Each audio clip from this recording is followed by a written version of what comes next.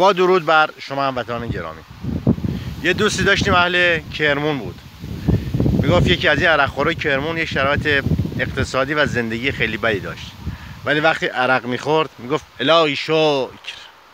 بعد از این سوال می‌کردم می‌گفتن که چرا تو میگی الهی شکر با شرایطت؟ گفت او خودش میفهم من چی میگم. الان تو این تظاهرات هایی که تو کشور داره اتفاق میفته هموطن از خونت بیا بیرون بگو مرگ بر دزد مرگ بر دروغگو. نیاز نیست می‌خواد بگی مرگ بر دیکتاتور مرگ بر علی خامنه ای. اونا خودشون می‌فهمن منظورت چیه.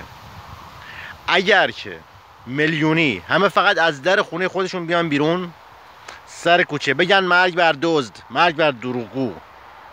ظرف 48 ساعت خیلی چیزا تغییر می‌کنه. از خونه بیا, بیا بیرون بگو مرگ بر دزد مرگ بر دروغگو.